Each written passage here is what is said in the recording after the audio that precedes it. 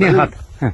10 tane ineğim gitti. Danalarıyla beraber 18 koyunum gitti. Hiç umurumda değil. Peki sen zoruma giden ne? Ben namazımı kılmadım.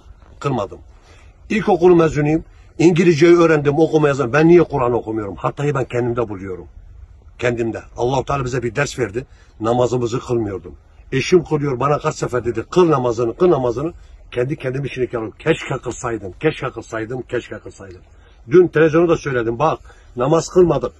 Bütün mineraller köyde dikkat edersen hepsi yıkıldı. Mineraller hepsi. Niye biliyor musun? Kimse namaz kılmadığı için. Hep bana hep bana aha çalıştım 20 sene. Bir buçuk dakikada gitti. Bir buçuk dakikada. Ne oldu? Çadırda kalıyorum. Benim trilyonlar versen ama hatam ne? Ben namaz kılmadım. Onu bana bir ders oldu. Allah inandırsın sizi var ya dün teyze dedim ki su abdest alacak suyumuz yok. Yok gerçekten yok. 15 gündür ben yıkanamadım. Gittim kızım yanında dün büyük burça. Orada yıkandım geldim. Dedim ki namaza başlayacağım ya. Şimdi kılmak istesen de suyu bulamıyorsun. Yemin ediyorum sana bak kendi kendime bak bütün gece elimde bir tesbih var. Kaç habbe var? 99 değil mi? Allah inandırsın seni dün ben tam 27 defa Allahu Ekber, Subhanallah, Allahümme salli Muhammed tamam. Ne düştüm? Hatalıydım. Benim buradan çıkma mucize. allah Teala bana bir ders verdi.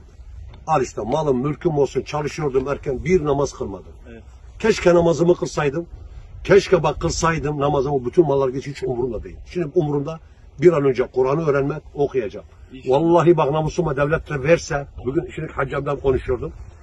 10 tane inek verecek bana. Bütün sütünü dedim Ayşe dedim eşime istemiyoruz dağıtacak Allah için. İstemiyorum. Bütün sütünü.